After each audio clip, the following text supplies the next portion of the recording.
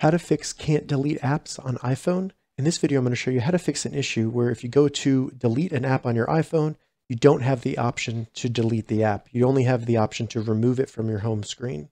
And if this video helps you, please consider giving it a like and also subscribing to my channel because that really helps me out.